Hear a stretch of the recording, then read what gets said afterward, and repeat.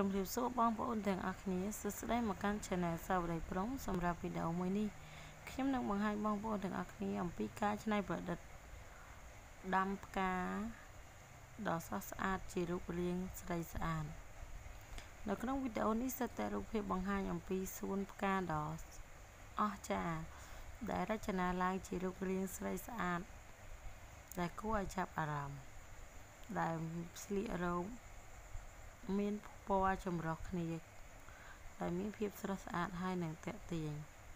វាពិតជាអស្ចារ្យខ្លាំងណាស់នៅការច្នៃប្រឌិតដើមផ្កាដាំការច្នៃប្រឌិតដាំដើមផ្កាខ្ល้ายទៅជារូបរាងមនុស្សក៏ដូចជារូបរាងនារីដ៏ស្រស់ស្អាត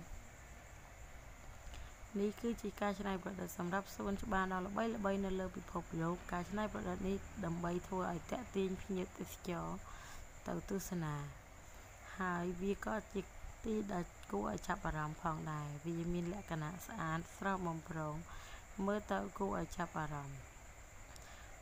ជាបន្តទៅទៀតនេះសូមបងប្អូនទាំងអស់គ្នាទស្សនានៅកម្រងរូបភាពដ៏ស្រស់ស្អាតជាច្រើនដែលឆ្នៃរៀបចំឡើងជាលក្ខណៈរូបរាងមនុស្ស